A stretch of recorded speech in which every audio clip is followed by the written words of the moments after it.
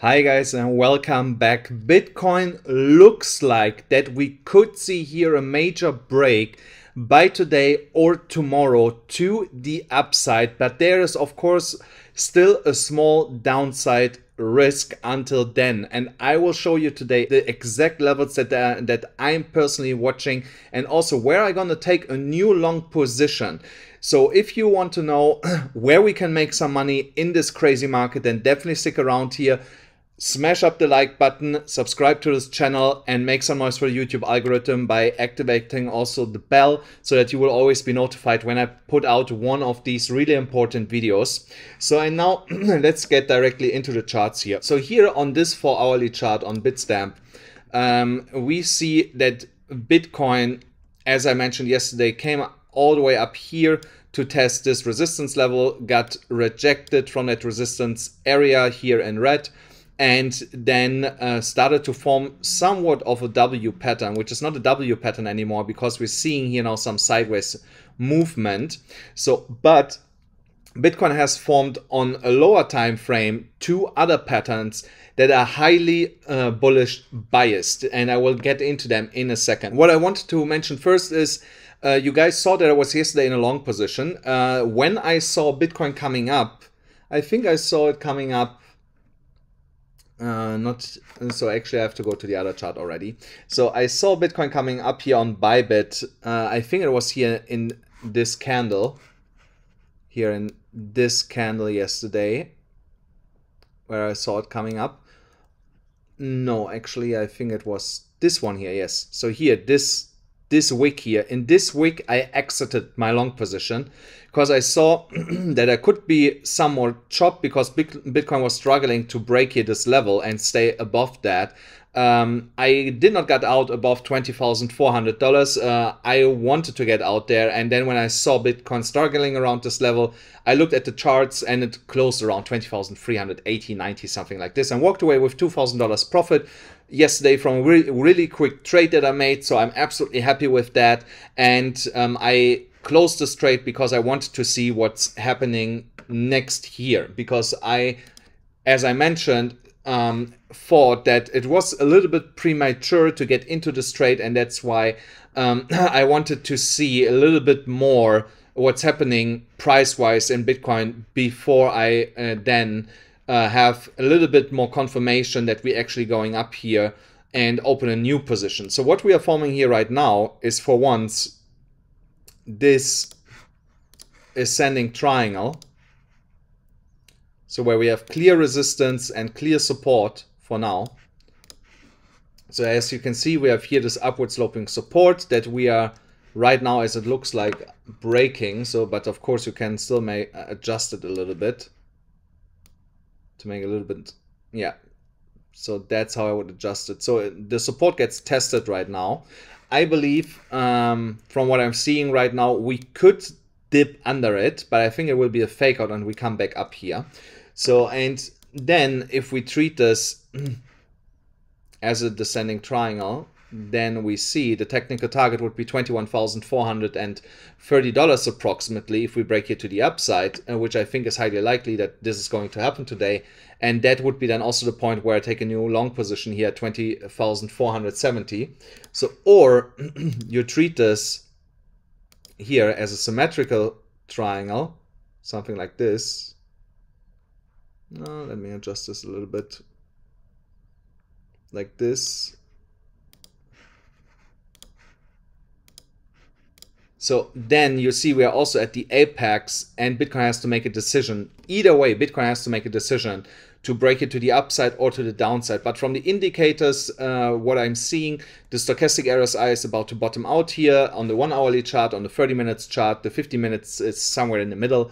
Uh, but it looks uh, everything like that we see a potential fake out here come back up and break it to the upside and that's what i'm waiting for. So now of course how low can we go here when we're breaking out to the downside? So i think we will find support at around this level here $20,215 uh, and see a bounce from there back to the upside. So here you see we are breaking down right now. So this can go on for the next hour, but I think then it's going to reverse back to the upside. So if we treat this as a symmetrical triangle, then of course the breakout would be higher.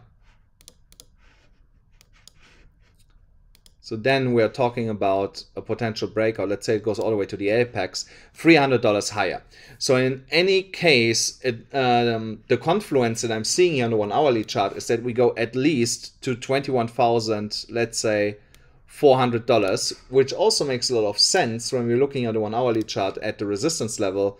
So we have resistance coming in around here at 21,000 $550 because of all these wicks here where we touched this level until we broke it to the downside. So that should be the next uh, bigger resistance level after this resistance block that we should be looking at.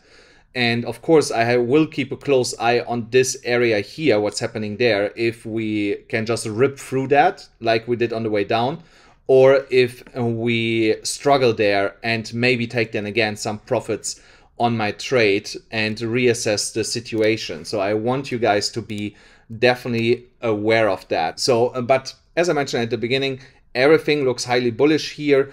Uh, for me over the next couple of hours. So that's why I'm prepared to pull the trigger once we're breaking $20,430 uh, here uh, to break it to the upside. So if you want to play it safe, you wait until 20,500 and enter then a long position, of course, with a one hourly or four hourly close above that level. We want to make sure that um, this is a confirmed breakout and not just another wick going up and coming back down and then maybe continuing to break you lower and then you are stuck in the trade or even um, yeah get liquidated or something like that so, and of course, if you want to track, uh, take this trade with me together, guys, do it on Bybit. Bybit has still the $30,000 bonus with that specific link here. And also on BitGet, $20,000 also only with that specific link here.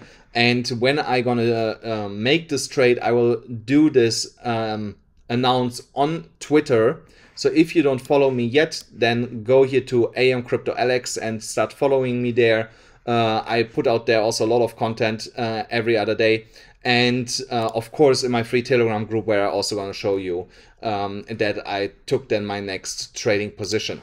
So here also on the four hourly chart, here's nothing changed. Uh, you see from um, the trade that I would like to take here, we are right now under the entry price uh, right now at exactly $20,500 because it comes from this support area here and that should now act as resistance. Once we are above there uh, on the 4 hourly chart, that is the final confirmation for you guys if we close the 4 hourly candle above that to get into this trade and then we can trade it all the way up to the point of control if you want to stay longer in that trade. So that will be the ultimate target for me uh, around $20,650. So um, what I suggest to you guys is take initial profits here on the way up uh, based on what we see on the one hourly chart and then have maybe 25 30% left to write the rest uh, to the point of control here on the four hourly chart. So that's how i would going to play that today. So then also when we go here to the daily chart uh, the the hidden bullish divergence is still intact. We had a nice bounce here yesterday off that upward sloping support here, uh, which is confirming the hidden bullish divergence, but we still need uh, the final confirmation with a break here to the upside, getting over $20,500 and that resistance area here. And then, of course, we also want to get above the 200 uh, moving average again. To give you some perspective, I don't have the indicator now here on that chart. Uh, the 50 moving average is sitting actually exactly here. So we bounce perfectly off that uh, back to the upside. So the 50 gave us support, and now we are basically stuck in between the 50 and the 200. And I would like to see uh, the 50 coming up here again, getting a golden cross, and continue the trajectory to the upside. So of course, tomorrow uh, when the markets are opening, we will have another CME gap uh, if the market continues to move here higher. So let's say we get today to 20,000, let it be only $800 so then we would have a CME gap of that size and we would be trading here around that area tomorrow. So then there's of course also the high likelihood that at some point we're going to turn around, fill this, and then continue to go up here. So there will be ample time uh, to catch this. So if we coming back and revisit this level for uh, closing the CME gap. And with all the uncertainty right now in the market, and especially with what's going to happen tomorrow with all the banks and the Fed meeting deciding if they're going to bail out um, some banks here and how they now try to stop another banking crisis as we have seen it in 2008 will be really, really, really decisive in what we're going to see here um, in the crypto market and the overall economy by tomorrow when they had that emergency meeting. Guys, that's it already for today's video. I hope you enjoyed it. Please make sure smash up the like button, hit the subscribe button, hit the notification bell, and I'll see you then again tomorrow.